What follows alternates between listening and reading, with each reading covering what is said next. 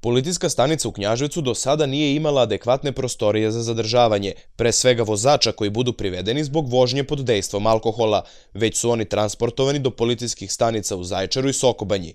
Adaptiranjem prostorija za zadržavanje ovaj problem biće otklonjen.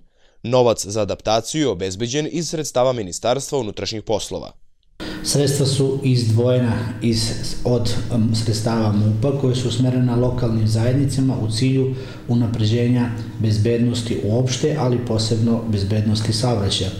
Na prošloj konferenciji dali ste podatak, ja bi samo malo malo opasku zdao, znači to nisu sredstva lokalne samouprave datan za sređivanje prostorije za držanje. To su sredstva Ministarstva unutrašnjih poslova koje su usmerena lokalnim zajednicama u cilju bezbednosti.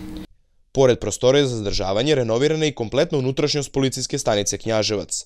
Novac je obezbeđeni sredstava MUPA, ali i iz donacije knjaževačkih privatnih preduzetnika. Tokom 2014. 13. i 14. započela adaptaciju poslovnog prostora, to je prostora gde su se nalazile kancelarije upravnih poslova, obzirom da su radni, e, radnici prešli na, u novim prostorijama u lokalnoj samupravi.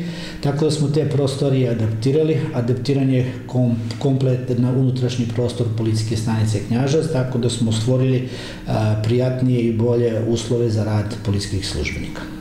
Želim da izrazim veliku zahvalnost svim privrednicima Knjaževca koji su izdvojili novac za renoviranje naših prostorija kako bi policijski službenici imali pristojne uslove za rad, naglasio je načelnik policijske stanice Knjaževac Zlatoljub Stojanović.